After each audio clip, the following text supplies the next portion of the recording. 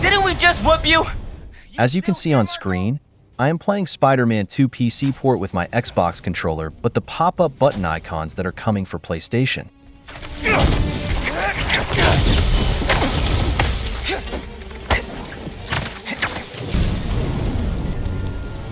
And as you all know, PlayStation and Xbox controllers icon layout is very different, especially the four button that are available on left side of both of these controllers. In games, these buttons are mostly aligned to some specific actions, but their positions are different in both of the controller.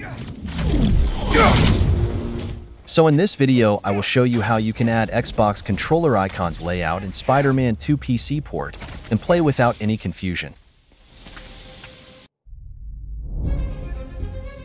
The steps are very simple. All you have to do is download this zip file. Link to download this file is given in description. After downloading the file, extract it with WinRAR or any zip extractor and open the extracted folder and mark all the contents and copy them directly inside Workspace folder. This folder is located inside the game installation directory.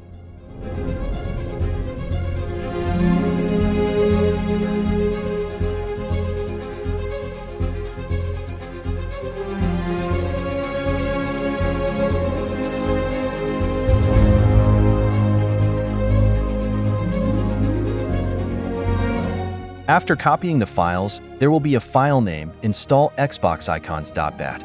Just run this as administrator and that's it. Now you have successfully installed Xbox controller icons into the game. So let's launch the game quickly and see if it is working or not.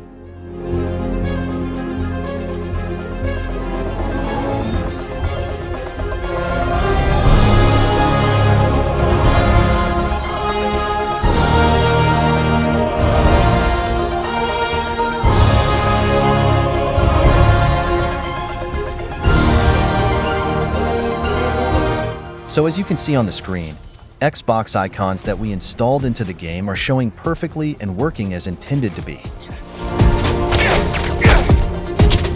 So that's it for this video. If this works for you then don't forget to like this video and subscribe to our channel. And even if it doesn't work then please tell us in comments section of this video. We will surely help you. Thank you for watching. We will be back with another exciting video. Until then goodbye and happy gaming.